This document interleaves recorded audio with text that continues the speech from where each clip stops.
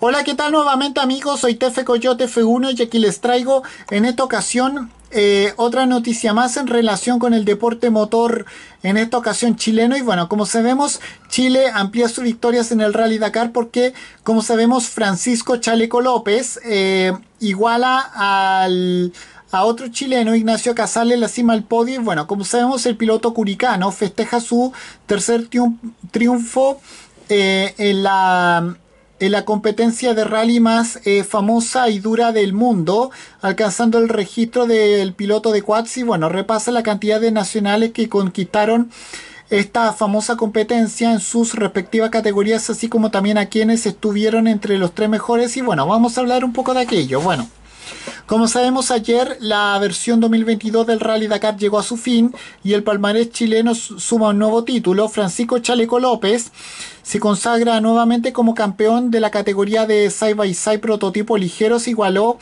a Ignacio Casale, que como sabemos se retiró eh, eh, en la categoría camiones por un incendio en su vehículo, en cual se la cima de los, de los pilotos nacionales más ganadores. Ahora ambos se ubican en el primer puesto con tres eh, títulos.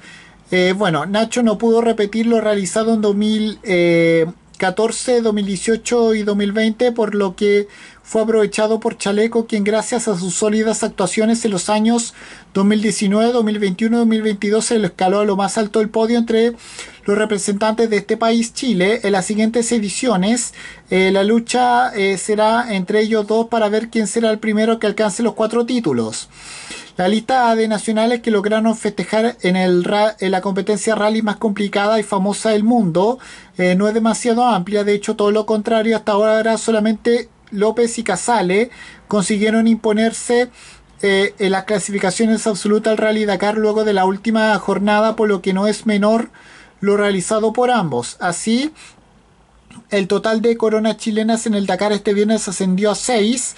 Eh, Pablo Quintanilla eh, pudo darle una séptima a este, a, este país Chile. El oriundo Valparaíso llegó hasta la última fecha eh, en, la, en, la, segunda plaza y ahí terminó porque se le hizo imposible remontar ante la ventaja del británico Sam Sunderland quien llegaba como líder a la instancia finalmente lo celebró. Y con esto me despido, adiós, como fuera, chao.